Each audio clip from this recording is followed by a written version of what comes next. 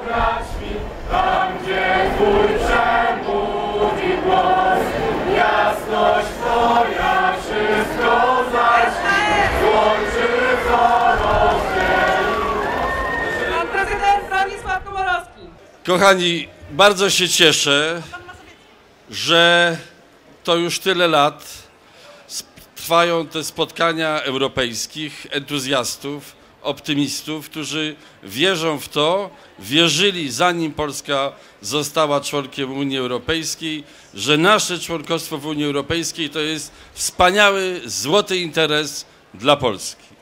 Bardzo się cieszę, że także po uzyskaniu członkostwa w Unii Europejskiej już od siedmiu lat spotykamy się, aby potwierdzać w naszych sercach, w naszych umysłach, przed całą opinią publiczną, że miejsce Polski w Unii Europejskiej to dobre, to bardzo ważne, dobre miejsce dla Polski.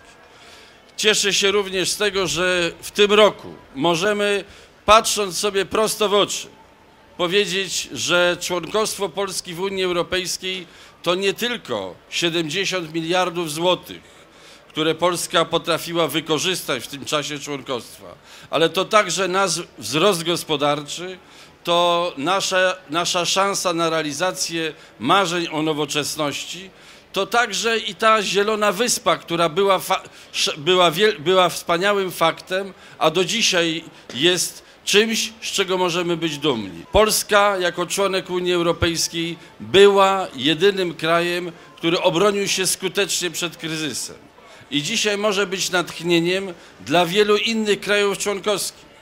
Dlatego możemy sobie dzisiaj powiedzieć, że zbliża się taki wspaniały moment, kiedy my będziemy mogli dawać więcej innym krajom Unii Europejskiej.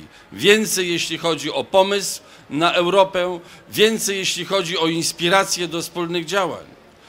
Zbliża się ten moment, kiedy naszą pozycję zamienimy także w silny wpływ na to, jaka Unia Europejska będzie w przyszłości.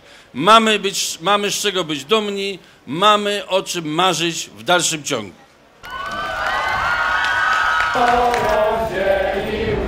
Wszyscy ludzie będą tam gdzie twój.